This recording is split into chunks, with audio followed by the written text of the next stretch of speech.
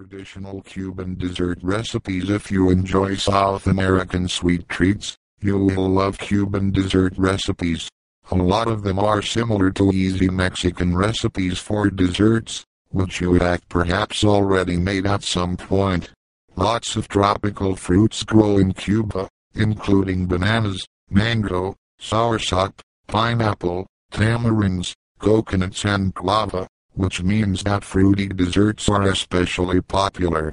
Well-loved Cuban desserts include rice pudding and merengues, which are sweet meringue puffs. Torrejas are like French toast. They are sweet Friday bread slices served with syrup and raisins. In Cuba, French toast is served for dessert rather than breakfast. Cubans also like to make cookies and pastries using the locally sourced fresh fruit. Fruit turnovers and parfait desserts are really popular there. Flan, which is also known as creme caramel, is very popular in nearly all Spanish-speaking countries, including Cuba and Mexico. This delicious egg custard is flavored with vanilla and has a smooth, silky texture. An easy recipe for boniatillo this sweet potato pudding is popular during the holidays in Cuba. The pudding is flavored with cinnamon, cream, lime juice, vanilla and more and everybody will love the delicious flavor of this wonderful and traditional Cuban dessert.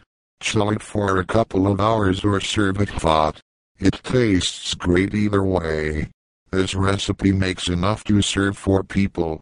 What you will need 2 cups brown sugar 1 and 1 half pound sweet potato 2 limes 1 stick cinnamon 1 cup heavy cream 1 teaspoon salt 3 egg yolks 1 tablespoon butter 1 tablespoon vanilla extract 1 8 teaspoon ground cinnamon or grated cinnamon stick water, as needed how to make it. Peel and chop the sweet potato and cover it with water in a pan. Add a teaspoon of salt and boil it for 20 minutes or until tender.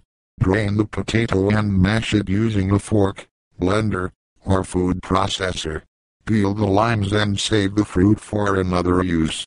Put the peel in a big pan with the brown sugar, cinnamon stick, and 2 cups of water. Cook the mixture over a moderate heat until it reaches 250 degrees F, stirring it all the time.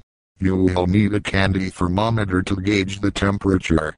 Take out the peel and cinnamon and turn the heat down to low. Add the mashed sweet potato and keep stirring the mixture until it is smooth. Take it off the heat. Beat the cream, butter, egg yolks, and a pinch of salt until smooth, and then add this to the sweet potato mixture. Cook it over a low heat for a couple of minutes, then take the pan off the heat and stir in the vanilla. If the mixture is too runny, you can mix a quarter cup of cornstarch with a quarter cup of water and add this.